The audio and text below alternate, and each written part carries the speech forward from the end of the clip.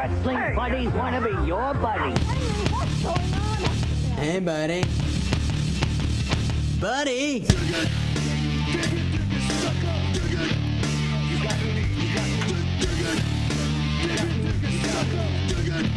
You got me mad now.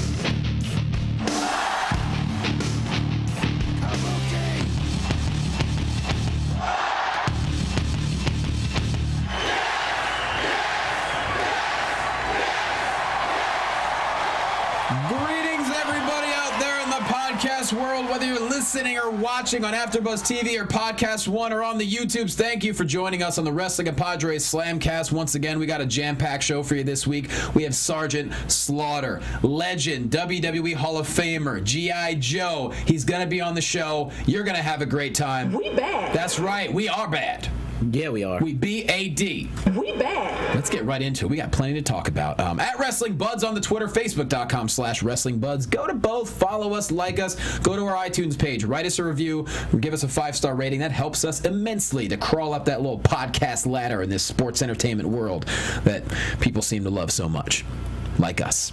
I'm at Jay Quasto, at JQUASTO. The man sitting over there with the lovely shirt that we're probably going to talk about all show. He is the host of the Curtain Jerks podcast. You can find him on Twitter at Curtain Jerks. He is none other than Scott Narver. You look beautiful. What's up, buddy? I want to know uh, who was the puke and who was the maggot. Was it you or Dale? Which one was which? Generally, Hey, hey, watch that language. Oh, did you say maggot? Dale, Wow. oh, Dale's getting a round of applause for that one. Wow. Oh, that was funny. I love you so much, Dale. That was Oh, amazing. Uh, so, Scott, did that answer your question? Uh, nope. Okay. no, it did not. Well- they raised new ones. Yeah, sure did, and that's uh, that's a good way to do things. So that's uh, that's Scott Narver, everybody. The man to his right. He is the pride of TCU, the pride of Houston, Texas. Had to make sure that I was correct in my I saw that. geography I to saw his right. You can find him on Twitter at crice17. He's Chuck Rice. He's a So we hung out this weekend. Yeah, we did. That was really cool. It was fun. So, uh, we, well, Johnny knows what it's about, but I can't tell all of you guys what it's about quite yet. But I will tell you We did some things. that I've been teasing it a little bit on the show for weeks. Oh, tease us, tease us. I am working on a really cool project with Rob Van Dam. And now That- me, apparently. And now, and now Johnny LaQuasta was a part of it. Well, but it has. know. But here's the cool thing: it only loosely touches on wrestling. It really Right. has nothing to do with wrestling. But I promise you, you guys will love it. It's uh, you needed a physical therapist. We did. and you needed a medical office. We and did. I was able to. Pr- and you also needed someone incredibly handsome, and I was able to provide all three. Yeah, we couldn't find the incredibly handsome person, You so we had of to a bitch! so we had to settle on you, man. That's fine. I'll but you take know, it. two out of three ain't bad. hey, for real. Fix but, it in post. yeah, can we get that face fixed and post, man? Yeah. but no, it's gonna be a really cool project. Um, it will have to do with some controversial topics, Mm-hmm. and I think you guys will find it fun, interesting, and informative. Absolutely. And also, we want to give a shout out to one of our favorite Yes. listeners, but let's introduce the next guy first because he also wants to give a shout out to that guy. Okay. This dude Okay. coming to us from Washington, D.C. He is Vest for Business. Find him on Twitter at The Walking Dale and also on Dishing on Movies. You know him, you love him. He be Dale Rutledge. I got a puppy. I got a puppy? bad news. Dale Rutledge, what's up? How you doing? What's up? How's it going? How's it going? Good. Apparently, you also got a package, as well as Chuck did, from not that kind of package. You received one in the mail from our boy Peter Morris at Pocket Wookie. Uh, go ahead, guys. Explain what you got. pocket underscore. Wookie. Sorry, Pocket underscore Wookie. Go for it. dude, these things are awesome. We got like, Mm-hmm. I didn't get eh, anything, so I didn't say anything. Well, Dale, uh, Dale got some. I got some. If you guys follow him on Twitter, he Very talented. is an amazing artist who draws a different wrestler every day. Right. and he has a company that you know he sells art um, and one of the things he sent us was he turned all of these drawings that he'd done into little like trading cards That's so dope. and they are really awesome and really cool Dale, what did you get? Uh, I I think I got the same thing. Um, it's the trading cards, and then there's a lot of um, the, the, my favorite, of course, are the wrestling compadre ones because I mean, Yo, he sent us a card with us on it. yeah, yeah, yeah, yeah. Say Wait, what? wait, that one wasn't in mine. Say what? Ooh, you gotta collect them all, guys. Gotta collect. Then them we're gonna all. have to do some trading, like, like yeah, like Scott said, like Pokemon. We're gonna have to do some card swapping. That's amazing. But Wrestling compadres, I choose you. You know, we we should give back to Peter. We should get him some, Brand new Apple Watches. or perhaps a trip to. Hawaii. I don't know. but I do know he has an art show coming up. I don't have the details, but follow him on Twitter at Pockets? pocket underscore Wookie. You will be entertained every day. He's fantastic. Well, You thanks, can, Pete. you can find the uh, the wrestling drawings on Instagram. That's like a more complete, easier way to uh, see the full collection as well. I'm loving that. That's so cool. And speaking of cool, Dale, we are going to do a SummerSlam contest, ain't we? We sure is. We just got to figure out what it is. I, I have a, a really great idea for the prize. I just got to figure out how we get there contest wise. But I mm-hmm. think, yeah, I'm going to really dig it. Well, when we come up with the idea, is there any chance I could announce it as Teddy Long? Would that be cool with you? Uh, what don't you announce as Teddy Long? Tag team match. I don't know. A couple things. You need a suit three times the size of you. Oh, I'm down. I don't know. I, I would just rather have Teddy announce it for us than have you try and be Teddy. Let's call him. Let's we get- should. We should get Teddy back on the show. Let's get him back on the show. Where's he live anyway? Do we know? I think he's in Atlanta. Oh man, I want him in studio someday. Hey, you know what, Johnny? Of all the people we've like interviewed and sat down and talked with on this show, Yep. he is still one of my favorites. Oh, without no question, no question. Uh, that's why it'd be great to interview him in person. A lot of fun. But yeah, we're gonna do a contest. Uh, you're gonna get something free, and we just got to figure out what to do. So that's our plan, which is no plan really. So send in your money now in order to get in on the contest. To, to what is it? Something something, Mr. Happy or Happy Dude? Yeah, it's like it's in like The one of those uh, infomercials from the '80s, like uh, no PO, PODs. No, that's the band. Uh, no CODs. Yeah, no PODs. We don't I want feel any so PODs. alive.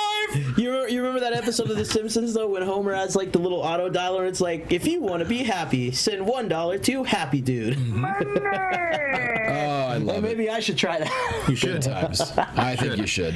All right, well, let's get in. We got plenty of stuff to talk about. By God, Battleground is over. Monday Night Raw is over, and a couple things went down. We already know that arguably the main event, well, not arguably, definitely the main event of SummerSlam is going to be Grim Reaper. The Undertaker taking on Brock Lesnar. Dale. I mean, did, did y'all see this coming? I mean, we talked about it a little bit last week. It was in my prediction of like wild hair schemes that could possibly go down, but I really didn't expect it to fully take shape at Battleground itself. Uh, did y'all see this coming? Well, here's the thing. There were internet rumors. I don't pay attention to those. You may have heard that before. So I was surprised, but I wasn't fully on board until after Monday Night Raw. I was a little sketch about it after uh-huh. Battleground, but the way Raw played out so amazing, I'm like, okay, this is cool. I, I have Why were you sketch? Why were you sketch about it? I don't know. To me, it was like wh- when Undertaker. Well, the, the main event didn't start until like two and a half hours in. I'm like, this is gonna be weird. Then the Undertaker showed up, completely out of the blue, and it just. For, to me, it was almost like, all right, how could we keep the title on Rollins a little bit longer? All right, Undertaker, go. But it made more sense on Monday Night Raw for me. That's just the feeling I got. I might be wrong. I don't know. You know, unfortunately, this was spoiled for me by some people on Twitter. Oh, the Undertaker. that- Unbelievable. Why did he tweet you that? oh, You Yeah, gotta what- block what- him. I'm coming, Chuck. Well, don't worry. We have stories about that from this weekend too. But I thought it was great the way they did it. You know, I thought it, it really did work for keeping the title on Rollins in a way that made him just look like. I mean, there's no other way to put it. Rollins looks like a little bitch right now, Yep. and he's doing it in the best way possible, which works for him. Yeah, I like how he's like, uh, oh, it's a good thing they're both out of here. How about I was gonna lose my temper? yeah, dude. I like that a lot. Me too. Where did he and the ref go at Battleground? That's what I want to know. I don't know. that that was a little bit of you know for me Uh, that was the only qualm I had with it, where it's like it wasn't, it just was over, and there was no like, you know, like he said, we didn't get the announcement and still your champion because I expected him to like do something, you know, like yeah, I'm still a champion, celebrating, you know, kind of like he did on Raw at the pay per view. Maybe he hit the outside, Scott, and maybe Hornswoggle was like took the little uh, curtain. I was like, "Hey, you want to grab a drink?" And he's like, "Okay," and he just rolled under the Yeah, ring. let's go to Little People's Court. Maybe that. Get a restraining order against Yeah. the Undertaker. Maybe. Right. Because I mean, then then again, though, the Undertaker generally is the judge backstage, Mm-hmm. but not in Little People's Court. He's too big, Way too big. way too big. So, so, Yeah, his foot's the gavel. so here's my question though: Does this mean we're not going to have a championship match at SummerSlam? That's a good question, Dale. What did you think of on Raw? The standoff uh. between John Cena. Uh. Dude, I didn't. I didn't like it. I don't know what the hell's going on. I do not want to see champion versus champion. No, no. John Cena is on such a roll of helping get over the mid card guys or the newbies or whatever you want to say. I'm loving this entire run with the U.S. belt. I do not need him anywhere near the main belt. Plus, we've already seen him and Seth Rollins go at it not that long ago. I mean, that triple threat that he had with Brock Lesnar and the two of them was was an awesome match. But it wasn't was it Royal Rumble? I mean, that wasn't that long ago. Do you So I think? just I don't know if I really want him in the main title. I'm, I'm gonna I'm gonna say that while I agree with what you're saying, I don't think we need to see John Cena in the main title picture. I would not have a problem if at some point I don't want to see it right now, Yeah. but if the John Cena that we've had for the last couple months since he won the U.S. title were to face Seth Rollins, I'd be okay with that because this is a different John Cena. This is a I, I dare I what color scheme is it? It's way different. way different. to me, do you feel like this is almost like a, a rush situation where like all right we got taker versus brock. It's summerslam. Maybe ratings have dipped. We need to have the championship revolving around. Do you feel like they just felt like they have to put john cena in the main event to satisfy sponsors dale? Do you think that's the situation? But uh, I don't think sponsors really care. I mean, as, as long as, especially with the way that the network is working now, it's it's such a different. The buy rate is not uh, a real issue. I mean, they're and plus sponsors are paying a flat fee, generally speaking, and then uh, programming is, is put around them as far as what they do inside promotion-wise. But I don't know. I mean, I guess the other problem is who else is a big star that you have Rollins go against? If if he, here's the thing. you have Brock busy, it's like I guess you, you turn to Cena because he is going to be the other big name, and you want a big name in your main event title one. for SummerSlam. scott, got one for you. scott narver has one. This is a man who's been wronged. Uh-oh. It's a man who's angry. Oh boy Man whose foot was mangled. dear god It's time to come back from fire, hellfire, and are you brimstone. talking about that damn demon yes. It's What? time for Kane Yes. to come back and rise up. This is the time you got Taker versus Brock. Yeah. And then you get Demon Kane back fighting Your against Rollins. that's right That would That be would an be a hell of awesome main show. event. I'd be more. Ex- I, I'm Yes. sorry. I'd be more excited for Rollins and Kane than I would be for Cena Rollins. What do you think about Dale? Are we saying Kane back with the mask? Is that what we're saying? Yeah, Demon Kane. And a, and a walking boot. and a walking boot. If he's with mask and walking boot, then I'm into it. If he comes back as corporate Kane, I don't want that. And I know it's only a difference of a mask, really. Yeah. No, I say you go there's, old school. There's a lot of nostalgia with him in the mask for me. And I say you get box. really old school Kane, like the the one long sleeve, the one short sleeve, Attitude Era Kane. And you get voice mm-hmm. box back. I feel like we should have these like crazy, almost like what Taker did for WrestleMania. We didn't see him until WrestleMania. Mm-hmm. Let's start getting these like cryptic, ominous like vignettes or whatever leading up to SummerSlam, where somehow a challenge is made, and we just see like little parts of the mask and stuff. So where Kane comes back and makes the challenge for Rollins. I don't want to see. Cena's doing, like you said, Dale. He's Cena's doing great with the U.S. title. He, you have him face someone for that title, or in a four-way. That's another main event, and then Rollins and Kane could just be a nice little addition to that. But you, but, but see, while you guys are acting as if that little segment on Raw last night set up a I Cena feel like it Rollins is. match, I feel like it didn't set that up at all. Really? I feel like Shit. it was just like you know we need someone to come out here and put Rollins back in his place. You know, because that's what happens every week. Rollins runs his mouth and someone cuts him down to size. Johnny You know, Face. Like, and I don't think this is setting up a match between the two of them yet. I don't know. I think that you know all the pieces that were in that three on three match at the end of the Raw. I think a bunch of them are going to be in a match with Cena for the U.S. title. I hope so. Dale, what do you think, man? That that standoff really. I, uh, I don't know. Yeah, I mean, I, I just feel like we haven't gotten the full effects of this Rusev Cesaro, who, by the way, I guess is still? Um, Is what? four way uh, or or whatever. I just feel like there's a lot of contenders. I mean, it might be Rusev and Ziggler though is the thing uh, for SummerSlam. So I don't I don't know if Rusev would be in that contention anyways. But I don't know. did you guys feel like the Undertaker coming back and cutting this promo in any way does it kind of undersell Wyatt? it's like he wasn't. He just realized he was pissed. Past this WrestleMania, It seems kind of weird. Well, well No, he's Undertaker going to go defeated. back after Wyatt a year from now, so Under- don't worry about that. But Taker defeated Wyatt though. He has no he has no beef. I don't. I don't think so. I think it was one of those things where he's like, you know what? I've tried to move on. Like he has the right to brag about it a little bit because you know he beat me. Streaks are meant to be broken. Fine, you know. Yeah. But I thought I, I think his promo on Raw was great I because it. Loved because it. it's it's talking about look, you know you won great.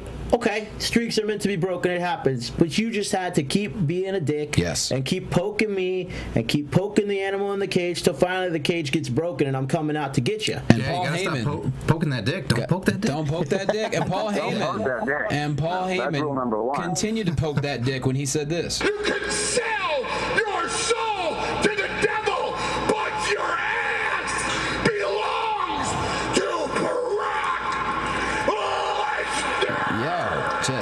lower the blood pressure. An advocator of ass belongings too. Well, there you go. Let- Let's talk about this for a second. I think Brock Lesnar might beat Undertaker at SummerSlam. Wow. Really? I do. Why? I really do because I think, and this is this is just what I think, could be completely off base, but what I would like to see. I've always said and maintained that I want to see Undertaker have one last match at WrestleMania coming up in mm-hmm. Texas, and that be the end for him. Against who? Don't you think this would be Taker wins and they have a rubber match, or you, you think they're done after No, this? see, I think I think Taker loses this to set up a rubber match where he's like, you know what, we're going one more time on my home turf, in my backyard, But Brock already- in mm. Texas, and you're not going to beat me at WrestleMania again. You've had my number, and he goes out on top over Brock at Mania.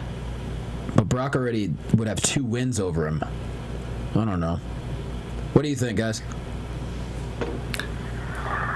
I don't know. I, I don't really know how this will go. I I feel like they brought up the fact that Brock hadn't been submitted or, or pinned in like two and a half years or something. I mean, he's only had five matches probably in that time period. Arguably.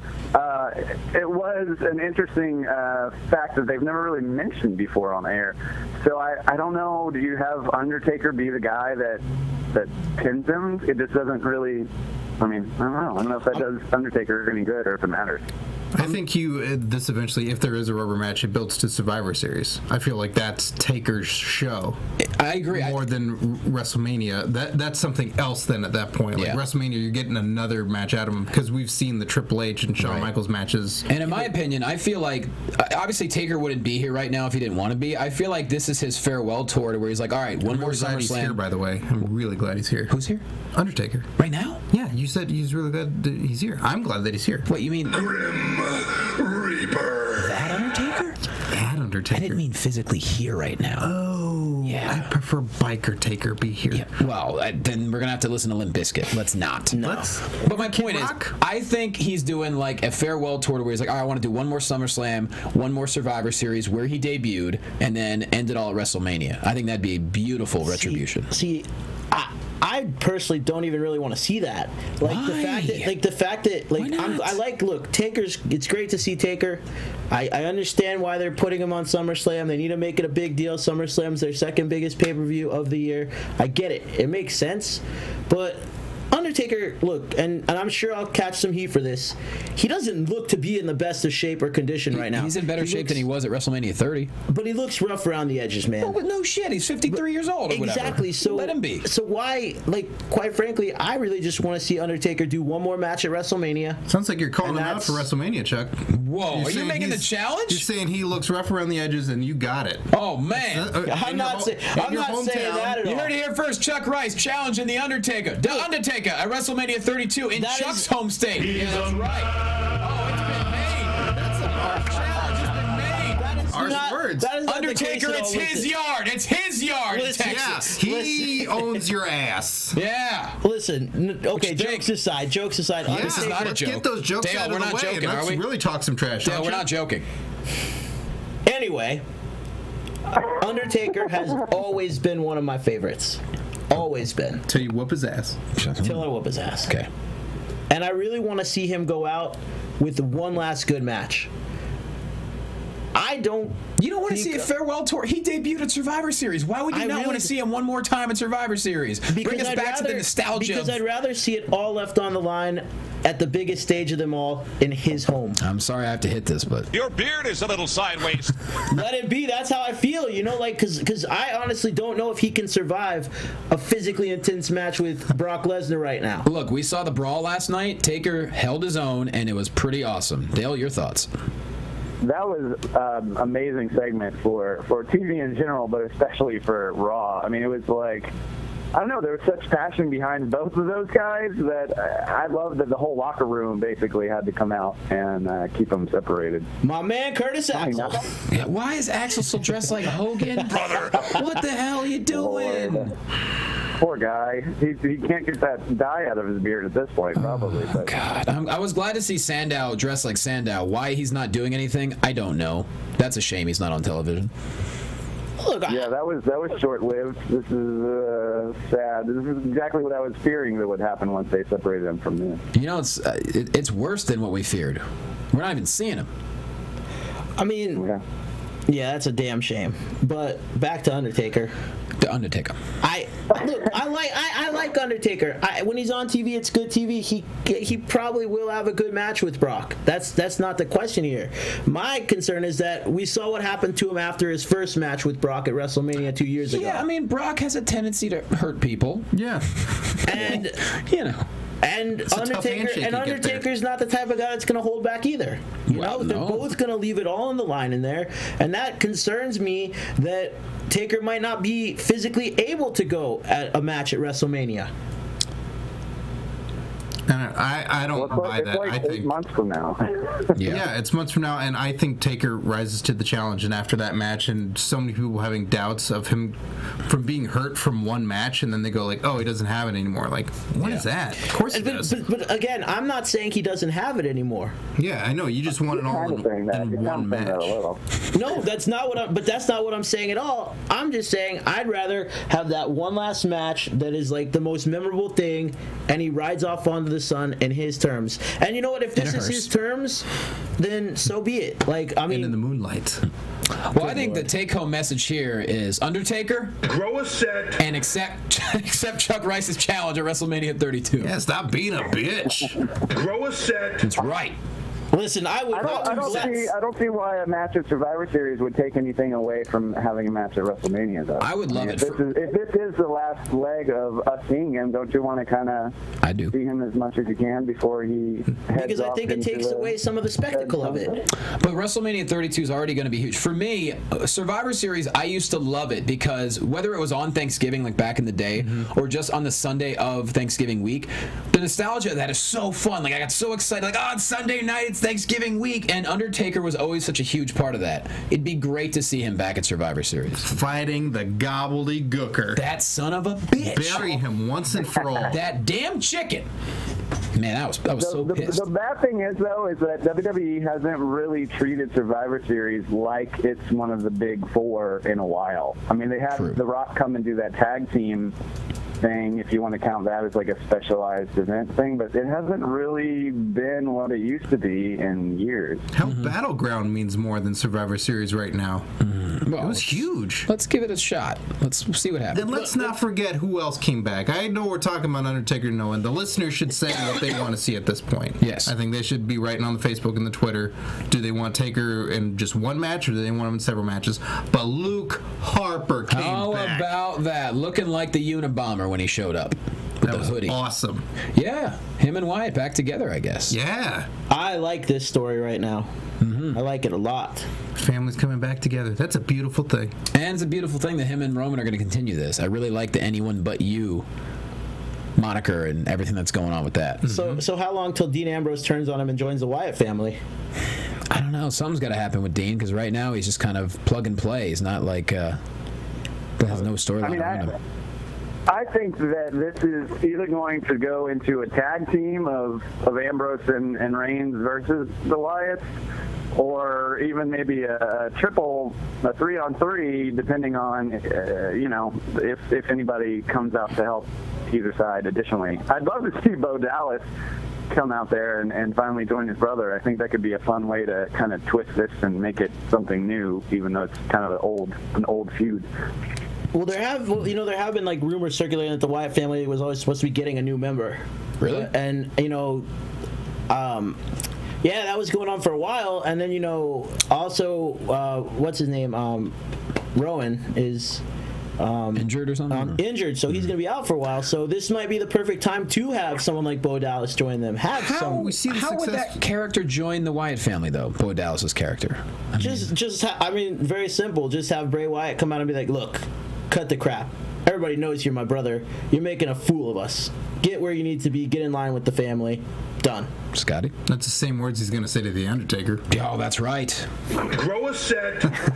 Uh, I I think they see the success that there is with primetime players and resurrecting those guys and putting them back together. Hmm. So the idea that factions or teams are lived, you know, once every 10 years or something like that, I think that's old. I think you could do things like this every so often where the Wyatt family returns and then has a new member and it doesn't feel like you're crapping on a legacy or anything like that. It's just Sure.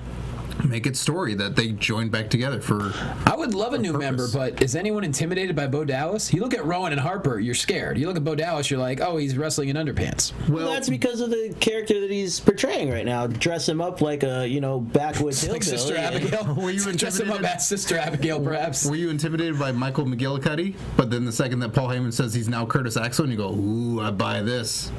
No. You can repackage anybody. Dale, were you, you? Did you buy Curtis Axel? Dale?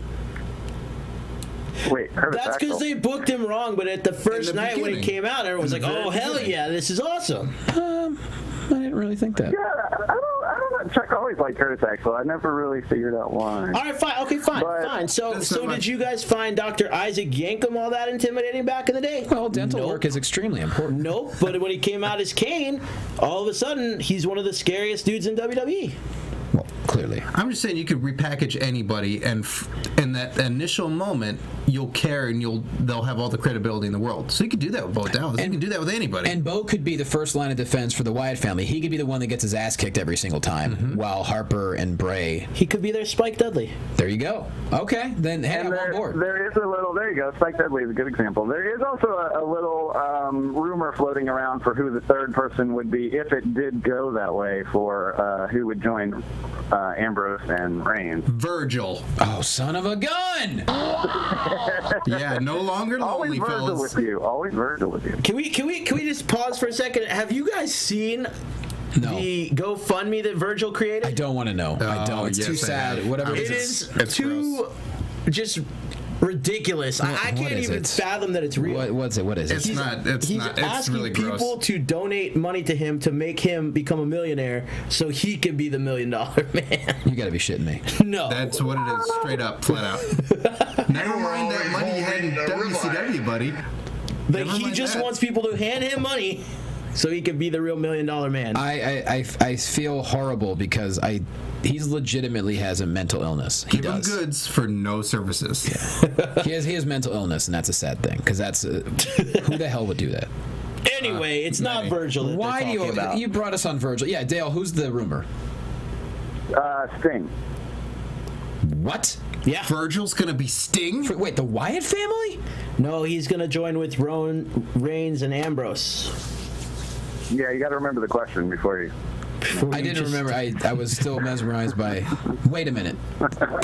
So they would be like a new Shield? No, they're saying there's No, a they're match at to be a new Shield goof butt. They're They saying that just the match at three people taking on the Wyatts. Uh, and if you think about it, that night after uh, WrestleMania, I'm sure they weren't thinking of this far ahead, though. But that night after the Raw after WrestleMania, they had Sting and Bo Dallas have a little bit of a, a beef there. I don't know if you remember. Um, it, it might have only been on the network. I don't even know if it aired on actual Raw. Yeah, but it we was. There It was on the network only. Got it. Yeah, Oh, but, right. but I don't know. I mean, it could be something that they they have five weeks, so they can bake whatever into it. But it would be a good way to have Sting on the card and not have to do a lot of wrestling. Wow. Yeah, I don't know. Goof it doesn't, I don't know. I'm actually, I'm just like really excited to see what WWE does right now because they had a really good pay per view at Battleground. Yep. Like it, it, top to bottom, including the Sheamus Randy Orton match, mm-hmm. was a great match. Yeah. You know? And they're going into SummerSlam, and they did announce a huge match right on Raw last night. Despite how everyone, like I might feel about it compared to you guys, Undertaker versus Brock is a big time match. Hell yeah, it is. So that's your SummerSlam main event. So they have, you know, I want to see how they fill out the rest of the card. Yeah, there's a lot of questions, and we love it when there's questions. Uh, one thing we're not questioning is the fact that there were two Divas matches on Raw. They both went to a commercial break, and they were both freaking awesome. Hell yeah. Hell yeah! We had Sasha and Charlotte uh, taking on Brie Bella. I'm sorry, um, Sasha versus Charlotte versus Brie Bella. Uh, that was on SmackDown. Charlotte made Brie tap, and then on Raw, Charlotte won again. Sasha Banks won her match. So cool, man. Guys, I have a problem right now. That you I, actually. I don't have I don't have a bathroom break during Raw anymore. Jesus Christ, Dale, go ahead. You're only watching the Hulu version in the first place. How many bathroom breaks do you need? Uh, I have been watching torrented versions so I can watch the three hours. Thank you very much, sir. Oh wow, there you go. one in a row, one in a row. Um, yeah, I, I think The this is streak is great. I don't know. This is another thing that I'm not sure what they're building towards, but I, I guess it could be a a triple threat tag team. Is that a thing? I don't know if that's a thing. You know what's But- you know what this is doing? It, it's extending Nikki Bella's title reign. But you know what? She's gonna break AJ Lee's streak. I, I've been saying that since it, it was ever in question. I mean, they're not they're not going to keep a reign on somebody who just up and quit. I mean, she quit in the proper procedure or whatever you want to say. Like she did the right thing as far as contractually speaking, but I mean, they're not concerned with her keeping any part of the legacy when Nope. she only was there for you know six years or whatever it was. Like they would much rather it be Nikki Bella who's still there and is dating the dude in the in the company. And she'd be on Total Divas.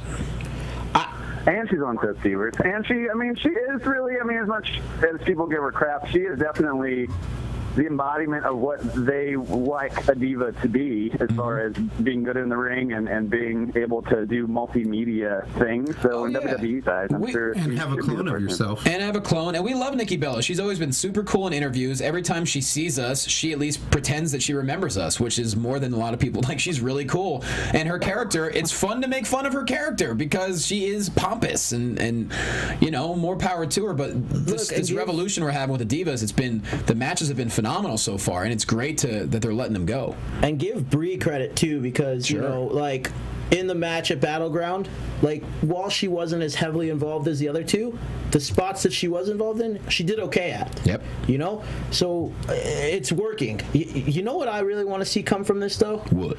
I, I there was one part on commentary on Raw this week that I really enjoyed um, was when the three girls of Bad were sitting there. And they were talking about she has, she has her daddy come out with her all the time. Tamina doesn't need her daddy here. I want to see Tamina versus Charlotte with legends in their corners. That'd be pretty dope, for sure. I love Naomi on the mic. Fantastic. Naomi on the mic is great, and Tamina could really take a few pointers from her. Really. I don't think Tamina doesn't have to talk. There's no need.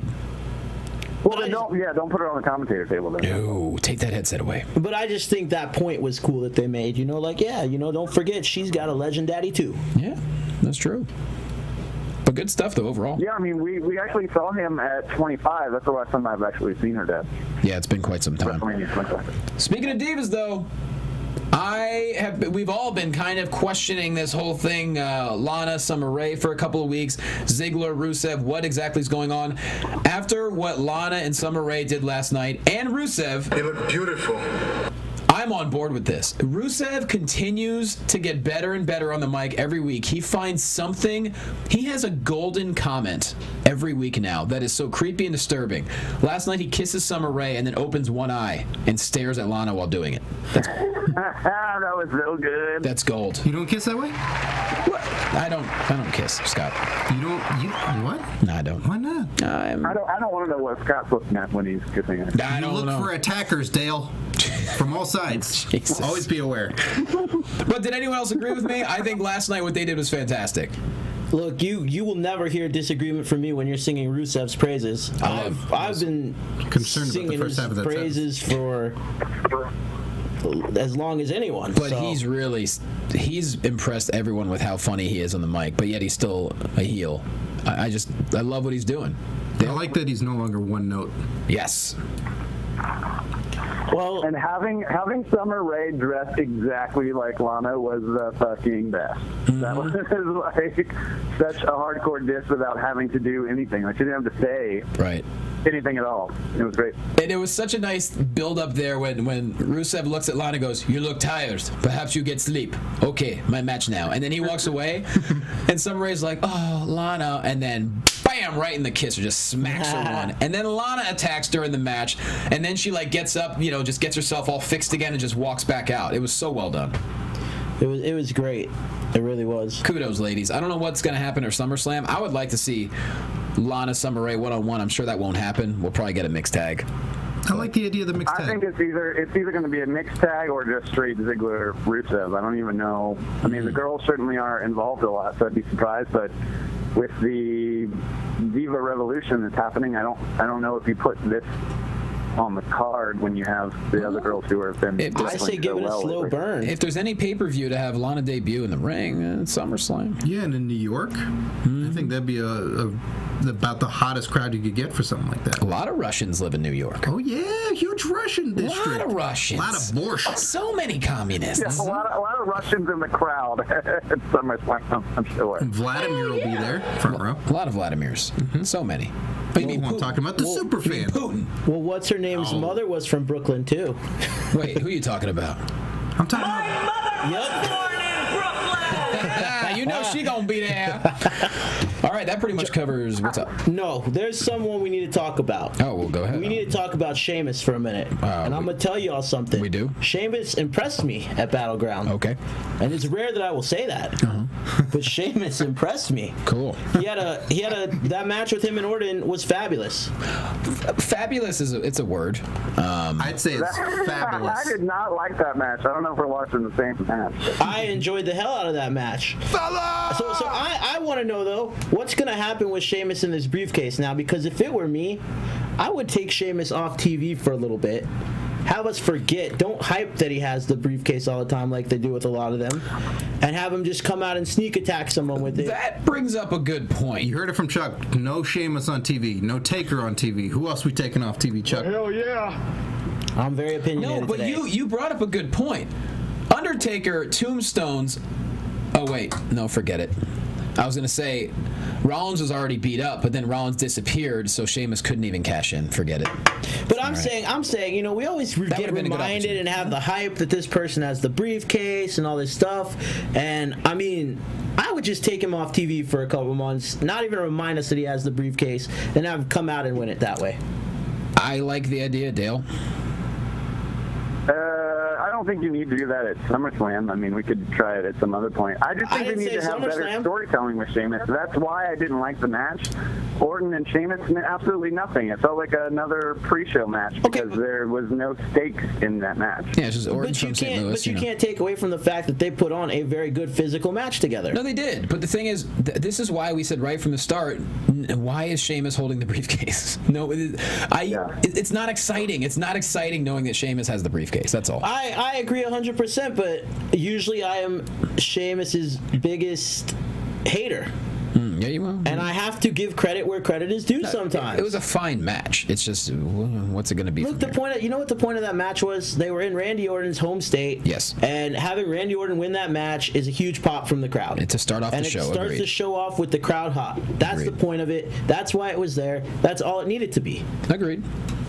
Hey, on the bright side, not all it needed to be because that's only concerning about 15,000 people. Then you have every single other person watching that match that didn't really care at all. So I don't think it's really that much of a credit for putting it on the card. true. Well, Dale, we should mention this at least for a few seconds. Uh, your boy Bad News Barrett is still the king, right? Yeah, I guess, yay, or something. Okay, just wanted to put it out there for you. I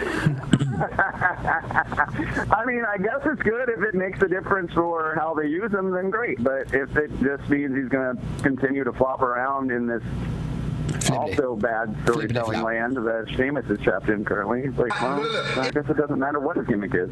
Yep. Well, just you know, he won, so hey How, how about how about that Big Show Miz segment though?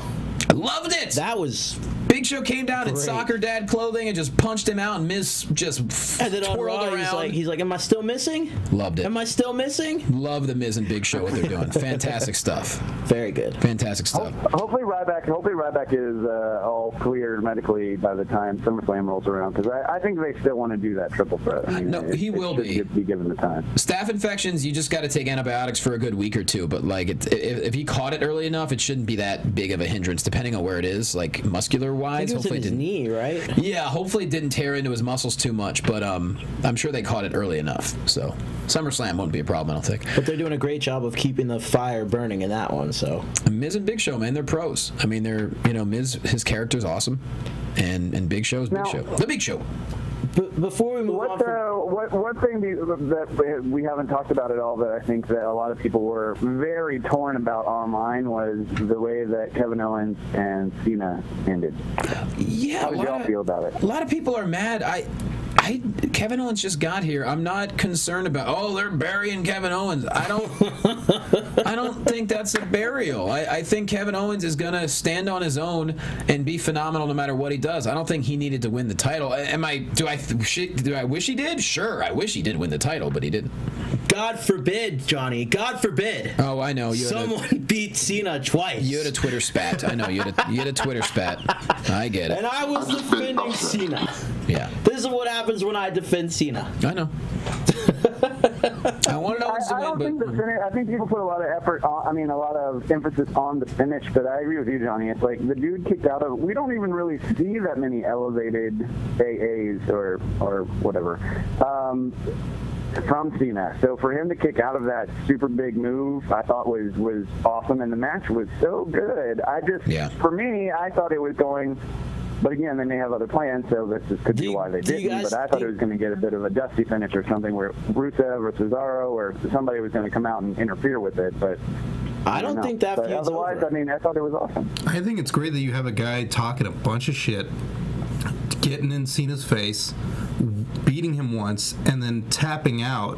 So he's this he's this featured player this whole time, and now he's Yeah. tapped out. So now the crowd can chant "You tapped out" and keep getting under his skin Right. to keep riling him up. Like this is character extension. right.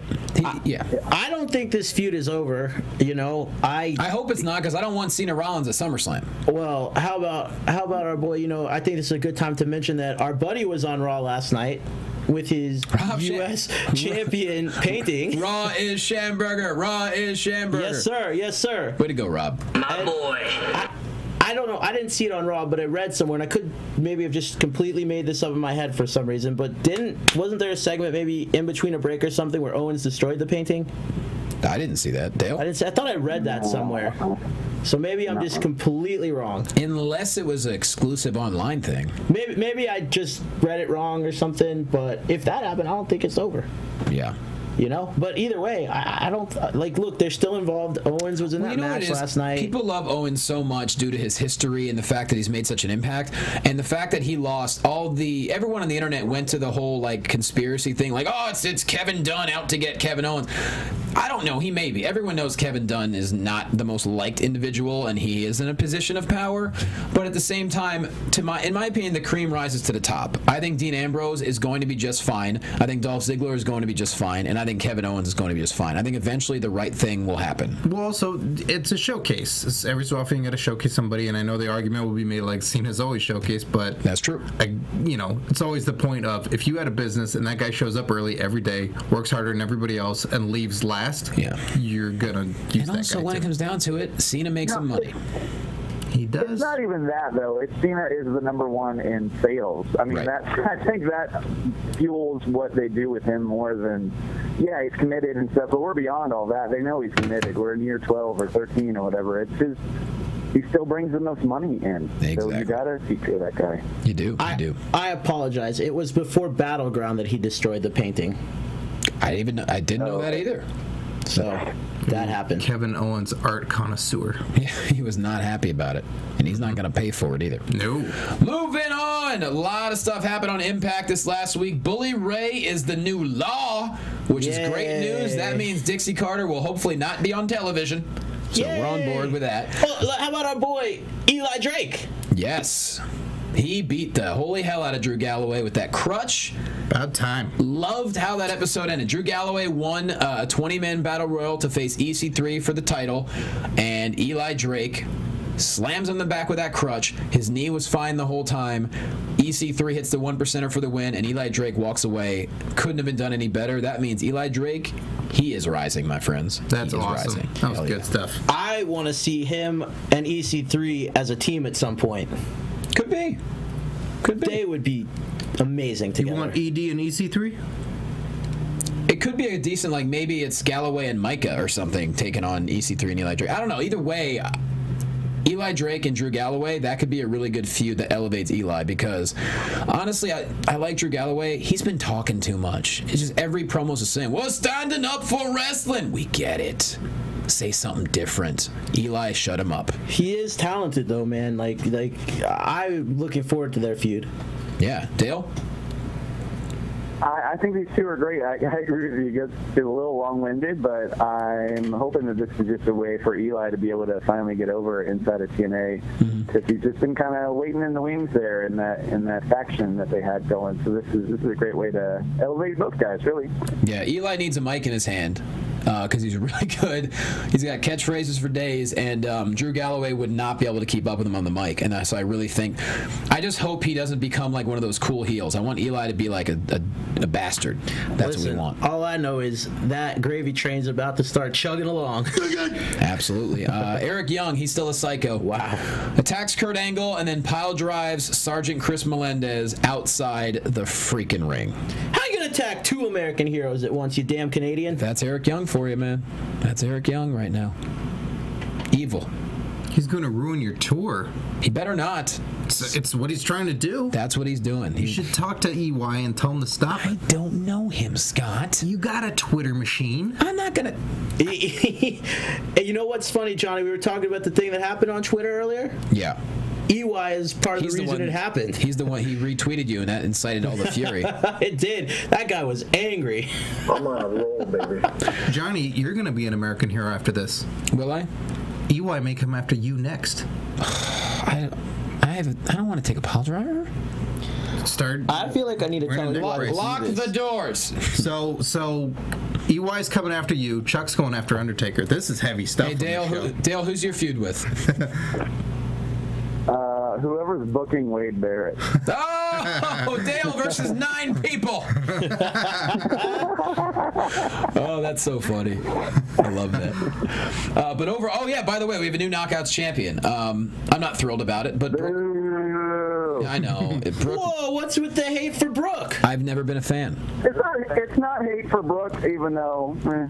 uh, it's more about Taryn Terrell being the most awesomest, and I wanted her to just be the champion until the end of time. It, it just came out of nowhere. I don't. Brooke, she came back recently.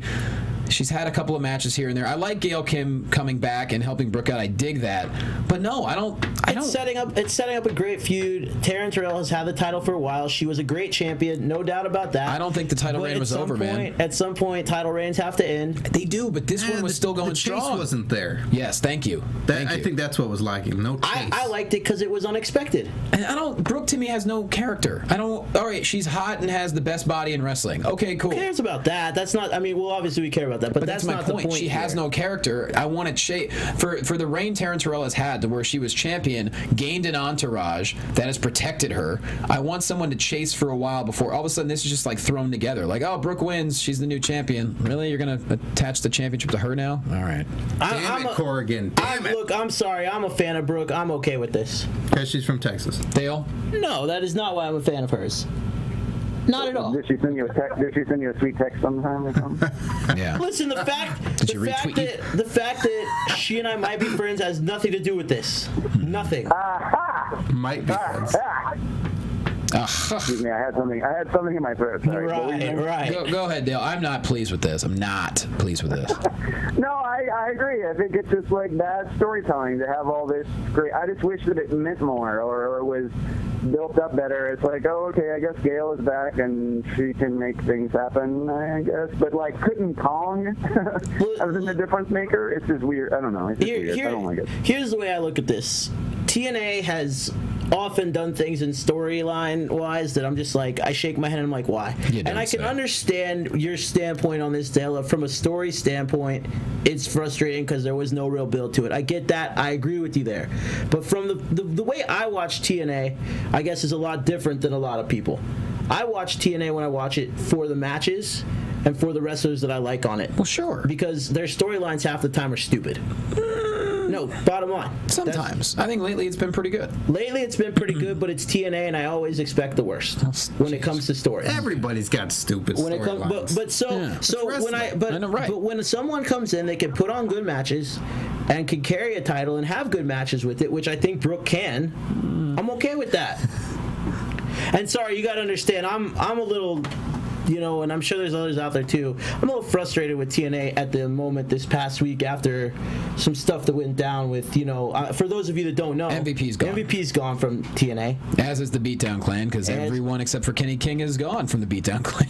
And- and Low Ki, there's just a- Samoa Joe, uh, MVP. And that's and that's and you know and look, without getting into too much detail, that's because stupid and bad business practices by some of their management. Well, we know that's been their thing. So so you know what I mean? Like there you go. When it comes to stories with TNA, I'm just like whatever about their stories. I just want to see good wrestling from them. I get it, but to me, Taryn Terrell, that I loved her as the champion, and I don't think it was over. Johnny, if you were to kiss Brooke, would you keep one eye open?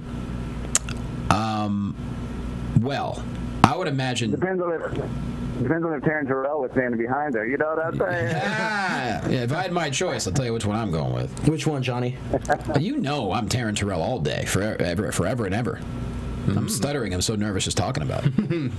no, but I just, in, in my opinion, in my opinion, Taryn Terrell has developed one of the best characters on television in wrestling right now, and that includes WWE, TNA, Ring of Honor, which only has a few female wrestlers anyway. Um, anyone. I really do think that. I think she's developed such a great character, and she's so fun to watch. So great. And now really she can be part of chasing the title again. Work. I love her body of work, Dale. Everything about it.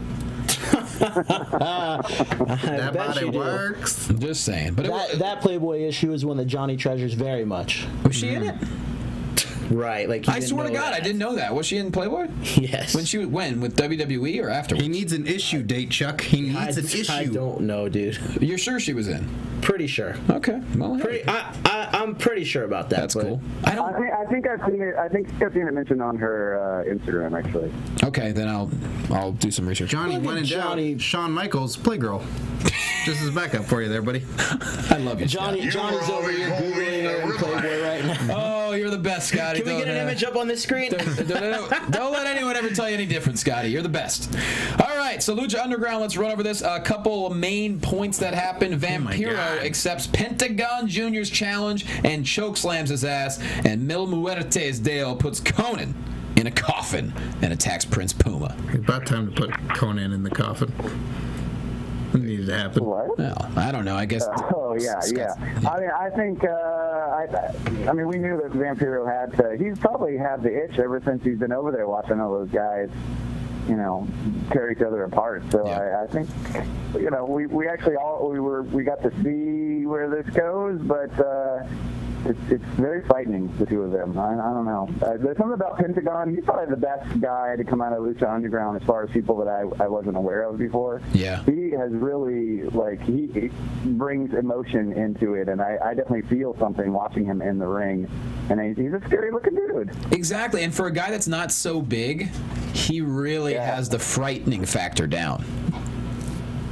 Yeah, absolutely. And to have just basically his theme for the whole season was uh, he he just go, comes out, breaks people's arms, and then sacrifices them to his master. Who who we, do we still don't know what's going on with his master? No, the master said he said the master will reveal himself when the time is right. Interesting. Wonder who that'll be. Well, Scott It's Narver was creepy at the voice, tapings. for sure. Hmm? Scott Narver was at the tapings, I believe. So, I like Mil Muertes as well. That guy's awesome. right? He's just a monster Yeah. there. And Katarina's phenomenal. yeah, She really is. she sure is. That character. What she does, I mean, she's such a perfect addition. And now we're going to have Mil Muertes and Prince Puma at uh, Ultima Lucha, which is shaping up, I believe, August 5th it begins. Mm-hmm. It's going to be over a couple of weeks, I think. I showed a couple friends uh, this episode of Lucha Underground who hadn't seen it before. They've just watched, you know, WWE and TNA. Good episode.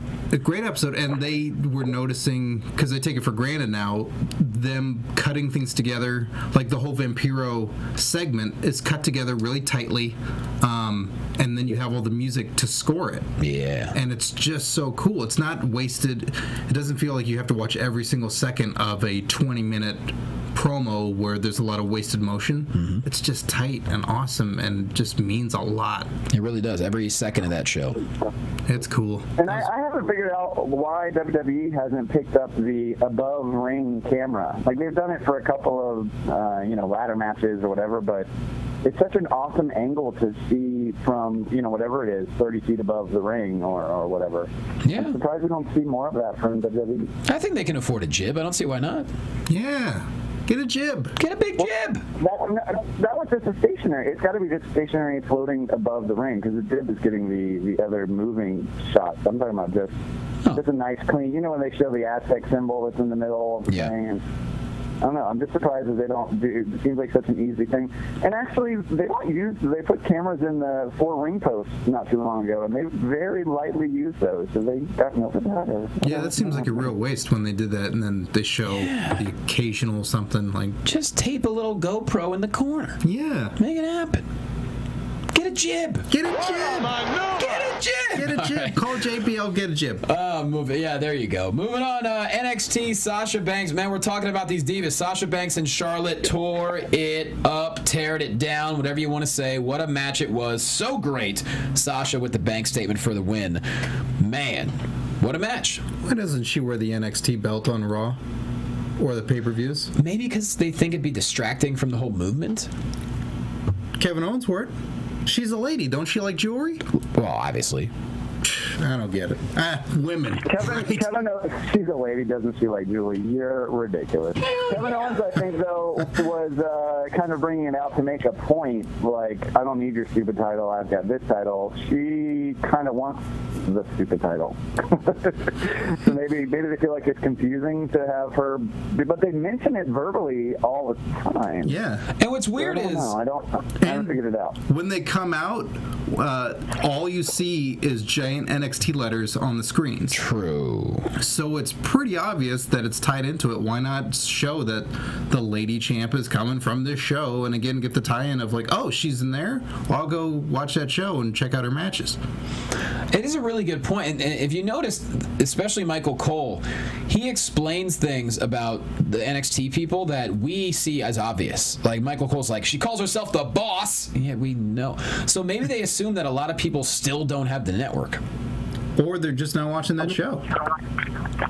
I mean, a lot of people don't have the network. I mean, if you're watching Raw, you they just have such a wider spread for Raw that I think they explain those things to, you know, only a million people for you know a little over a million have the network still. Even, point. even though the exposure is there, it's still. I think I think it's okay because they don't they don't beat you over the head with it. At least they just kind of Yeah. get it out there and then try to move on. That is very true. What a match, though. I mean, I, I think a lot of like Michael Cole saying stuff like that oftentimes has to do with too is like comes to marketing and merchandising. You know, it's just Yeah. to drive that point home so that you're like, oh yeah, she's the boss. I want to buy that T-shirt that says like a boss or something. You, You know, are Or correct. I, I think that's really what it comes down to. That's a very, very good point. Uh, hey, how about this? Jason Jordan, Chad Gable teaming up, getting a cool Gotta finisher for the. W. Finally, Ready, Willing, and Gable. Love seeing them two together. Both amazing wrestlers. I mean, amateur wise, and then now they're trying to make their mark in NXT. I really dug that that they uh, finally teamed up. cool dudes too. What would you name them? What would you give their name? I would love to see them have a name. Right. I don't know. What do you think when you look at them? Well, I know this. I know they did have a little faction that never got made. They were called Shoot Nation. They're a bunch of former amateur wrestlers that were now banded together, but unfortunately it never got greenlit.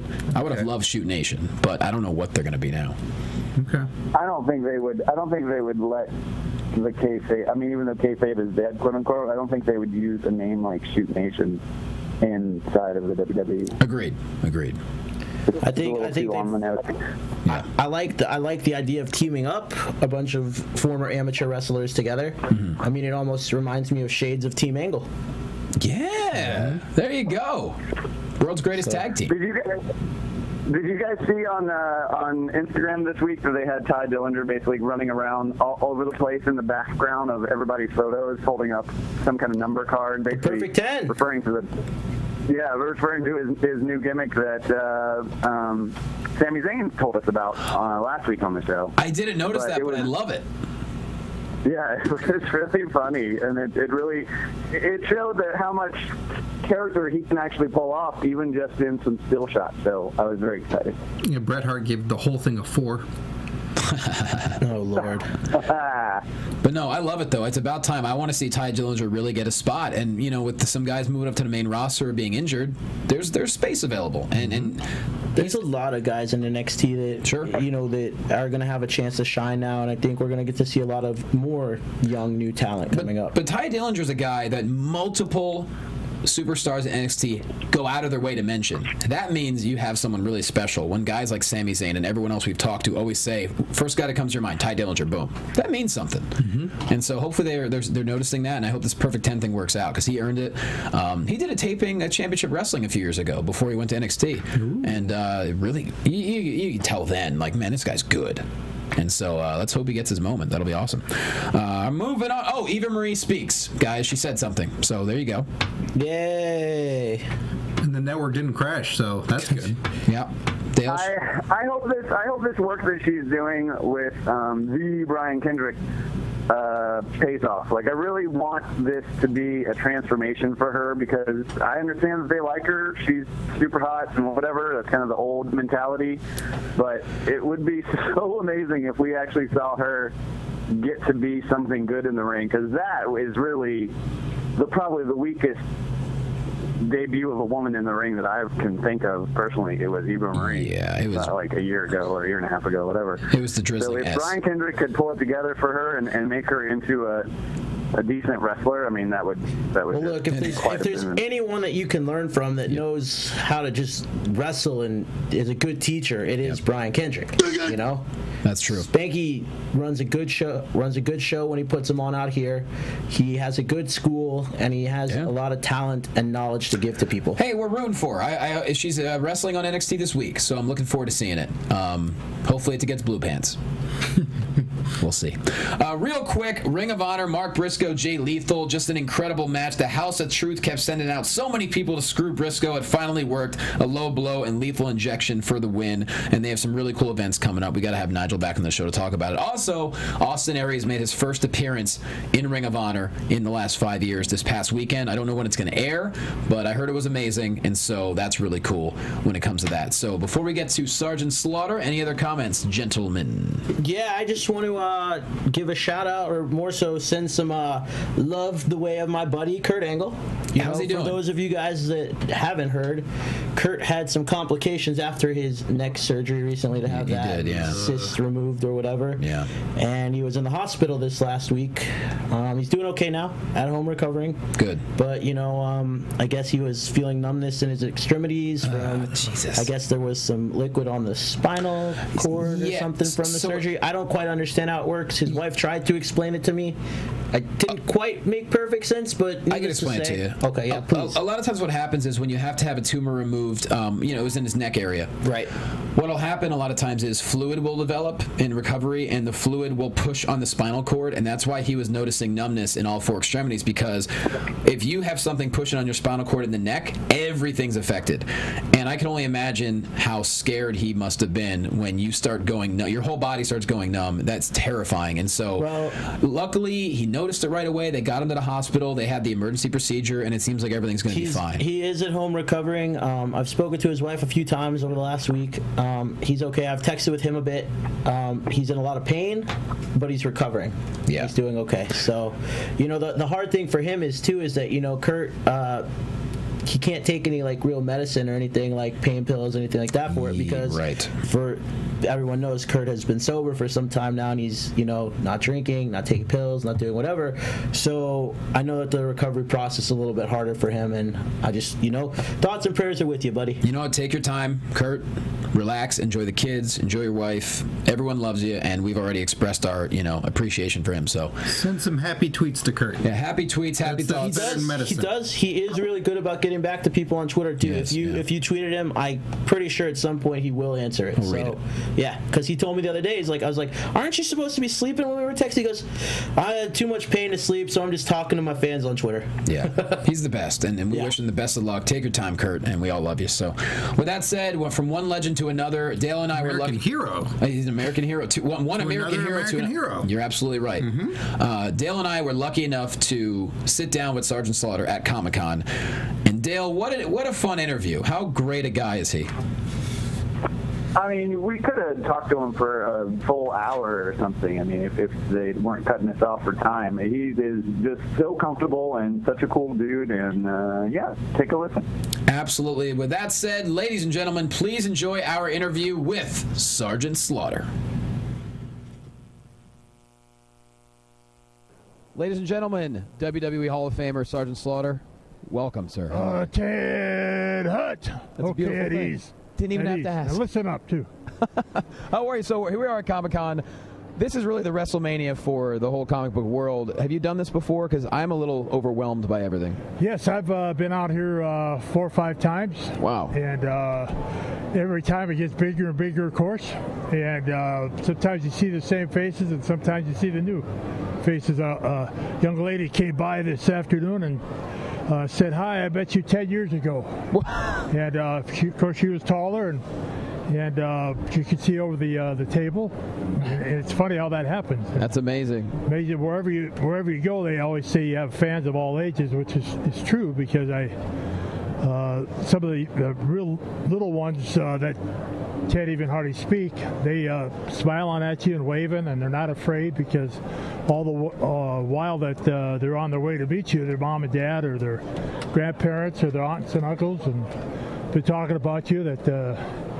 Uh, I was their heroes, and uh, it's just it's a funny situation. Very, very seldom do you have uh, the little ones that are, you know, shied off or they want to come up and get a headlock or a cobra clutch, and and uh, we have a lot of fun with it. It's funny you say that. He put Bob Backlund, or Bob Backlund put him in the crossface last year, and honest to God, it was it was snug. It's I, snug. I think I almost passed out. I know. Actually, I've it wasn't. been It in it a wasn't. times. uh, speaking of, of photos, if you Google my name, which I, I do on occasion, Yeah. uh, one of the top photos that pop up is a picture of me with you and Gary, uh, who used to work at Yes. WWE Yes. back at SummerSlam, like oh, Right. 06, 07, Right. somewhere around there. Right, right, right.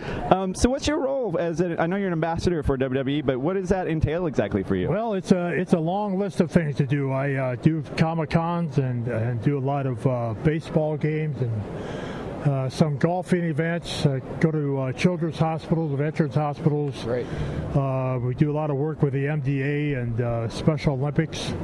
Of course, uh, John Cena uh, does a lot of work with uh, with our uh, uh, Make a Wish. So even though I do some, uh, I try not to broadcast those too many. So uh, that's kind of John's little. Uh, uh, it's his big endeavor. Big, yeah. big endeavor, and I don't want to get in his way. And you know, we've been doing Make a Wish uh, since I joined the WWE in 1979. Wow. But I'm glad that uh, John jumped on board and uh, and you know truly loves to do it. And, you know, it's different than being told you have to do something or go go to here, go to the hospital, go to go uh, see some children, and, and but when you go on your own, and uh, you know, I very seldom ask for cameras to come in to a room or Sure. uh, any, unless the parents want it. If the parents want to have pictures taken, that, that's that's different. So uh, that, it's just uh, a lot, a lot of uh, things to do. A lot of times I'll, I'll go out to uh, like this last year we went to San Francisco and all around the Bay Area and promoted WrestleMania. And uh, coming up in, in Dallas, I'm sure I'll have some things to do there. And and uh, about the last uh, five or six years, I've been going and promoting, uh, you know, on sale of, uh, of the match itself and, and the Hall of Fame and, and the access. And it, it's uh, It's a good gig. It's, it's a lot of travel. Yeah. Yeah. And I want to go back to what you said earlier. You know, you've transcended generations. You have fans of every different age group because you've stayed in the public light. How cool is it to have someone, say, our age or maybe in their 40s or 50s, bring their kids up and they're both fans of you? That's got to be such an amazing feeling. It's the coolest thing. You know, you don't you don't realize that uh, you you reach that many people, uh, that many fans, and the uh, the WWE universe is, is massive. It's hard to explain how massive it is, and jumping on board with Mattel and, and making it even more, you know, uh, come to life, and and uh, you know, it, it's it's one of those things that the uh, the WWE wanted to do. They wanted to make this bigger than life, and, and uh, so far, so far they succeeded. Well, I can tell you one thing. I know we both hated you in 1991. Good. Good. I What, what was job. that like? uh, Doing my Knowing that job. your character was siding with. I'm sure you answer this all the time, but I've always wanted to ask to know that your character was doing that in the middle of what was happening. Right. Right. That was polarizing, yeah, to say the it least. that wasn't the first time that I was a villain, so you know it it uh, it was a little bit tougher at that particular time because I sided with Iraq. But uh, long story short, I was uh, coming back from my second uh, tour of duty with the WWE, and Vince McMahon's father was running the company, yet, and uh, we were sitting at a restaurant having dinner, and how great it is to have the Sarge back, and you're the best villain we've ever had. And Oh, I boy. said, well, if you think I'm a good villain, you got to see me as a as a hero. And he said, what do you mean? I said, well, you got the Iron Sheik from Iran, Ayatollah Khomeini, the Black Hawks going down, the hostage situation, the uh, murder of the uh, Marines at the embassy. We never really got a chance to punch Ayatollah in the nose. You know, uh, Carter's administration went through, and here here come Reagan. He he put the law down, but nobody ever really got to, you know, take a, a cobra clutch to Ayatollah Khomeini. So I said, why don't you let me take on, you know, the Iron Sheik? And uh, of course, Vince's father said, "No, no, no, oh no, we can never, never make Sarge a, uh, a hero." And uh, of course, Vince saw all the writing on the wall. And a short time after that, I, I went out and challenged the Iron Sheik to a match, and uh, that started the whole hero type concept. and then the turn made it that much more. Right. Yeah. So then when I uh, I left him, went with uh, Hasbro and went with GI Joe. And after I got out of that, I couldn't be with, both companies. Vince gave me an opportunity to stay with the WWE, WWE or go uh, with Hasbro. So I chose to go with the. Uh, the toy company because I figured I could always be a wrestler, can always be a wrestler, can't always be the uh, first and living GI Joe character. So I, that's how I uh, jumped on board with them. And, and when that contract was over, I got a call from Vince uh, McMahon, and he had an idea. Wanted to go to WrestleMania seven with this big battle, and I figured he was going to take uh, my character in GI Joe and just make it the you know real, real, real, real American hero. But he had other ideas, and uh, Mm-hmm. Yeah, he when, did. when he uh, when he laid it on to me, I was like. Oh great! That this, had this to- is what I want to do. This is what I want to do. Of course, everybody else was uh, against it and didn't think I should do it, but I went with it. And uh, I'm not the kind of guy that lays back and and uh, just kind of uh, does what they tell me to do. I just do what I want to do. Speaking of which, the Ultimate Puke promo. Yeah. I imagine nobody was giving you. That had to be all you, because that was Oh, one yeah. of the greatest promos of all time. Yeah, we always uh, prided in our, our promos because we had so much time to say so many things and get our point across. And I was uh, I happened to be a master at uh, knowing where I wanted to start and where I wanted to end. And uh, with a character like the Ultimate Puke, I mean, it was just uh, there never was enough time. You know, you, you five minutes was never long enough. So, uh, but uh, God rest his soul, he was a, a, a great uh, a character in himself, and and uh, we had some real knockdown, drag out battles. I'll never forget watching it. That watching it live. That promo where you just when you're staring at the camera at the very very end, your seconds are now numbered. Like I wa- I wanted to cry when I was like 10 years old. Yeah, yeah. It was one of those uh, proud moments that I always look back at, and uh, you know there weren't any writers or scripts and things back then. That's crazy. Uh, uh, you mentioned the Hasbro days, and then we're here at Mattel. So there's probably I don't know how many figures have been made in your likeness. Do you have like a room at your house dedicated to it or anything? I, uh, I don't have a room, but I've got boxes and boxes of them. But uh, last time I counted, I think I have 32 action figures of all shapes and sizes uh, from both companies, and, and uh, it, it's just a, a real honor to, to be associated with both companies. Uh, I think I'm the only wrestler that is uh, has an action figure for uh, Mattel and and Hasbro. So it's uh, and, and I'm, I'm, I'm just so thankful uh, that uh, WWE uh, allows it to happen once in a while. Uh, only because this is the 30th year of that I would have uh, been with with uh, GI Joe, and and they're- they honored the uh, respect. Uh, you know, it's one of a kind. You know, there's only there's only been one living GI Joe, uh-huh. and uh, of course it, I couldn't I couldn't have been a GI Joe without the WWE putting me in the ring also. No, now I was surprised when they made the the movies for GI Joe that you didn't make a cameo in there. Was there any talk about that or? Oh, I, I've uh, been wrote, I've written into each uh, movie, but because of the uh, you know uh, toy companies and uh, litigation, Oh, I see. things I like see. that, uh, was weren't able to do it. In fact, the second movie, I had to, they, they rewrote it, and uh, Bruce Willis was supposed to be Sergeant Slaughter.